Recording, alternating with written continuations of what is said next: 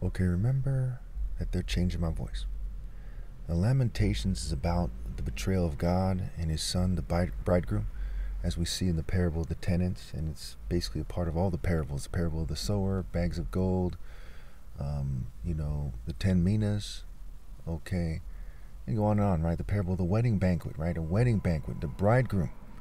So as women are prostituting themselves to other gods, as the Bible says, as they're dating wicked people, as they're shunning me, as society, especially the churches, didn't put me, you know, front and center for all to see and explain why I'm right in a way that's fair and just and right. Okay, God punishes these people forever and cuts them off. Okay, so that they're walking dead in the flesh and they go on to the realm of the dead after they've been weighed carefully to see exactly how much they deserve to pun uh, to be excuse me to be punished. Lamentations 4. How the gold has lost its luster, the fine gold become dull. The sacred gems are scattered at every street corner. So it's talking about their treasures, right? You know, the family jewels, if you say, but it goes beyond that kind of immature explanation, right? You know, it is it is, you know, the, the people themselves. Okay. We see in verse 2 it says, How the precious children of Zion, once worth their weight in gold, are now considered as pots of clay, the work of a potter's hands. Okay.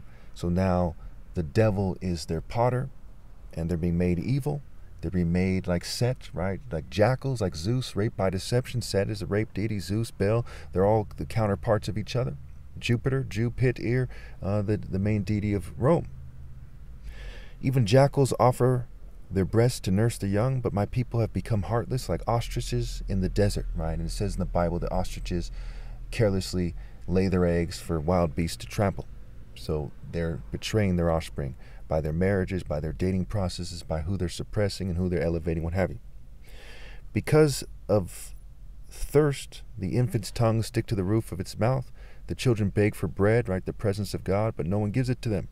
After I'm gone, there'll be no one to give it to. Those who once ate delicacy are destitutes in the streets. Those brought up in royal purple now lie on ash heaps. The punishment of my people is greater than that of Sodom, which is which was overthrown in a moment without a hand turned to help her. So again, sexual immorality, not just LGBT, okay, not just gays having sex with each other and getting married and pretending to be of God, right? okay, and leading people astray by their actions, whether they claim to be religious or not. Okay, because when it says Sodom, a lot of people will think of that, right? They'll think Sodom and Sodomite and the story of Lot. It's all sexual immorality. For example, a lot of people don't know this, but oral sex was also considered sodomy by the church, okay, by the Catholic Church at least. And that's not the only proof. It, the bottom line, if it's sexual immorality, like it says in Revelation, they're outside the gates. And all marriages that are outside the divine order are extreme sexual morality because they have sexual implications. People get married and have sex, right? And they're pretending to be of God. So when you're having satanic sex and you pretend to be, you know, having a you pretend to have a valid marriage, especially with a, a scale of white supremacy, when it was the white Romans who killed Christ with the with the Jews who betrayed him, in the story, Herod, Caiaphas, Pilate, the soldiers that mocked him and spit on him. Okay, so then you're pointing to the people who symbolically killed Christ. I don't care what race you are, but you got to think about the principles. And then you're pretending that their culture is magically divine while they're still trampling the poor. And after I'm gone, it won't matter what they're doing, it will be a continuity of pure evil. Okay, so the punishment of his people, right? Of all races, especially whites and Jews and LGBT for the reasons I spoke of before, because it's being compared to Sodom and it's the whites and the Jews that killed Christ in the story, and it was their cultures that's killing everything decent on the planet, first and foremost, and other cultures factoring, but it's first and foremost there, like colonialism, uh, corporate partnerships. You know I'm right. The most racist person who wants to say I'm wrong knows damn well I'm right, and shame on him for wanting to say I'm wrong, right? Hello, wake up, right? Okay. And of course, it says in the New Testament, right, the one who knows better will be beaten with many blows. Their princes were brighter than snow and whiter than milk in terms of whiter in terms of, you know, like the stars, like the morning light, in terms of being righteous, right? As, as opposed to walking in the darkness, right? Their bodies more ruddy than rubies, their appearance like lapis lazuli. But now they are blacker than stick. Uh, excuse me. Now they are blacker than soot. They are not recognized in the streets. Their skin has shriveled on their bones. It has become as dry as a stick. Now, is their skin literally shriveled? No. Okay, it's saying spiritually speaking, right? The flesh being symbolic. Um, in some context, we'll say to keep it simple, of the presence of something. So the presence of wickedness is there, and it's rotten, and it's shriveled, and it's darkness, right? Those killed by the sword are better off than those who die of famine. Racked with hunger, they waste away for lack of food from the field. With their own hands, compassionate women have cooked their own children, who become their food when my people were destroyed. So you see how the answer isn't conservatism or uh, uh, democratism, if you will, because they're not really open to new ideas and thinking clearly, or else they would focus on the individual rights. They would see the moral order and they'd obey God through me, right? So they're not really compassionate. When they say with their own hands compassionate women, they're compassionate in the sense that they, they're kind, they're caring, are you okay? And stuff like this. But they're following the devil. So they're figuratively cooking their children. And their children have become their food in the sense that they're leading them down the same wicked path that they're on, and they're becoming dark and contorted and twisted, and it's rather abhorrent what they're doing. Their cultures are pernicious, right? They're malicious, they're evil. The Lord has given full vent to his wrath. He has poured out his fierce anger. He kindled a fire in Zion that consumed her foundations. The kings of the earth did not believe, nor did any of the peoples of the world, that enemies and foes could enter the gates of Jerusalem. But it happened because of the sins of her prophets and the iniquity of her priests who shed within her the blood of the righteous. So it's the collective group of the people, right? Who they choose to be the king. And that's the entry point, right? The king has been compared to a mountain like Mount Zion, Mount Horeb, Mount Sinai, where they said to go up and do something holy, right? Receive the Ten Commandments, pray, what have you. Okay, but instead they chose a king who's a mountain of evil, Baal, Dagon, Asherah, what have you. And so evil's coming into their presence, into their souls, and just consuming and it kindles a fire, and wickedness burns like a fire, as it says in Isaiah or Jeremiah. So the Lord has given full vent to his wrath. He has poured out his fierce anger. He kindled a fire in Zion that consumed her foundations. Instead of having righteousness and justice, wickedness and falsehood is, uh, are the foundations. And again, wisdom walks in the way of righteousness along the path of justice, Proverbs 8. And since that cannot be done if my flesh dies, their, their souls keep burning. People should not reproduce. The kings of the earth did not believe, nor did any of the peoples of the world, that enemies and foes could enter the gates of Jerusalem. But it happened because of the sins of her prophets and the iniquities of her priests, who shed within her blood within her the blood of the righteous. So to shed the blood of the righteous is more than one way. If you shun them, you're shedding their blood. You're casting them out, right? Instead of their blood mixing with yours in a way that's righteous, fair, and just, you're trying to get them to settle. You're trying to get them to gay. You're telling people to shun them.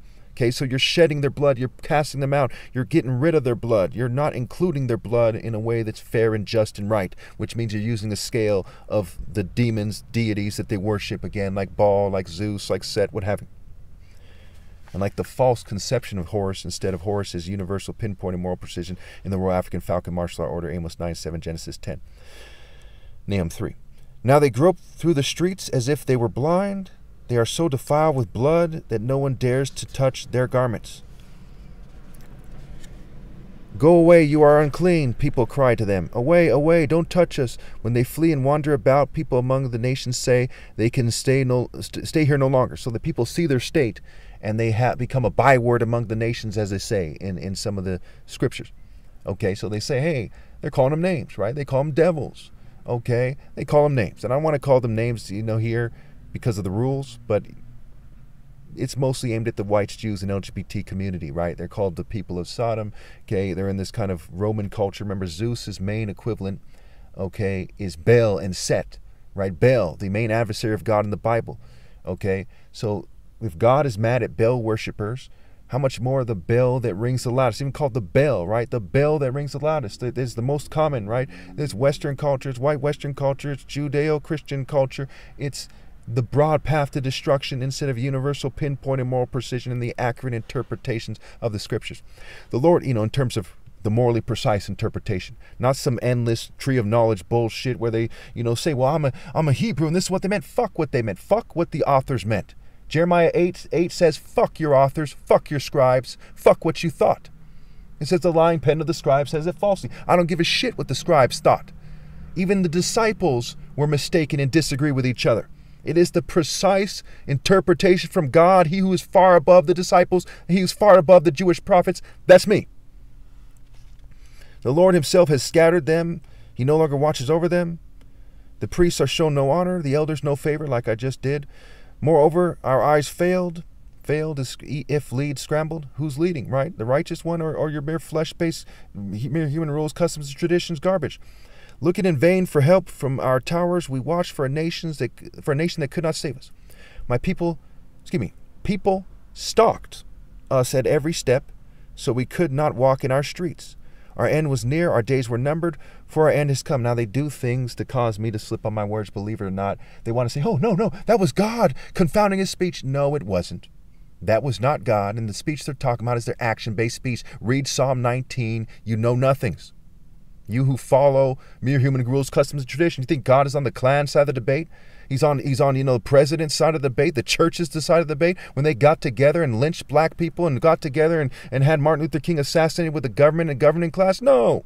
God despises your side of the debate. Even a kid should be able to tell you that. Wake up. Stop being immature. Grow up and stand for what's right. Instead of being some kind of groupie punk that only stands with the masses for what's wrong or gets pissed off from some kind of sissy, kind of period having complex, male or female like, okay, and throwing a fit and dying on your own for what's wrong. Okay, use your fucking heads. Okay. People stalked us at every step, so we could not walk in our streets. Our end was near, our days were numbered, for our end had come. Our pursuers were swifter than eagles in the sky. They chased over the, us over the mountains and lay in wait for us in the desert. Again, the mountains, the kings, right? They chased us. Them, they chased them with the kings. Okay, they chased them literally, in, in some cases, over the mountains. But it's talking about figuratively. They're being chased by the evil spirits that they've allowed in by following the wicked and trying to value their flesh-based life in this world instead of principle, which would have led them to being martyrs and and rallying to me and whatnot. Okay. The Lord's anointed, our very life breath was caught in their traps. We thought that under his shadow we would live among the nations. Okay, so they're following a wicked person. You know, so like Saul was referred to as the Lord's anointed in uh, First and Second Samuel, but he's not really because he's he's rebelling against God. So he's caught in their trap. Okay, he's not talking about me, but in the sense that they're all persecuting me and they're suppressing my videos. But it's not the same thing, okay? Because I'm triumphing. All victories are in principle, what have you. Rejoice and be glad, daughter Edom you who live in the land of Uz, but to you also the cup will be passed. You will be drunk and stripped naked, right? No righteous acts. Your punishment will end, daughter Zion. He will not prolong your exile, but he will punish your sin, daughter Edom, and expose your wickedness. Again, the parable of the wedding banquet. They didn't have the fine linen, the standard for the righteous acts of the saints. That's clarified more in Revelation 19. Thank you.